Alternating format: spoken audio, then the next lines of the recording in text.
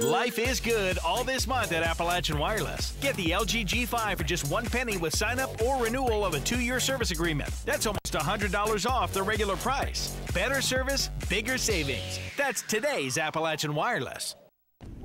Meth has become a major problem in this area, and you can find Manny being sentenced to 10 to 20 years in prison on any given day in any given courtroom. A Floyd County woman who was in court Thursday to be sentenced for her meth related charges was looking for leniency since turning her life around.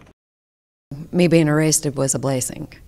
Um, I now have a relationship with God you know, uh, brought me to New Beginnings Fellowship Church, and the support and the love and the encouragement that I get from them is it's overwhelming. I requested to go to treatment. I have 13 months clean.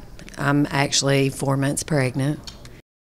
Courtrooms can often seem like a cold and heartless place, but that's not always the case.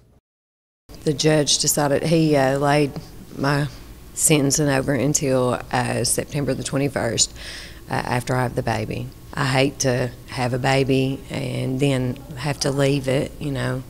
But then again, I hate to be incarcerated and pregnant and it's high risk. And I have to say, though, I mean, I can't be mad at them, you know, for their decision, you know, because I know what I did was wrong, so. Akers went on to say that she will continue to go to church, stay focused on her recovery, and pray.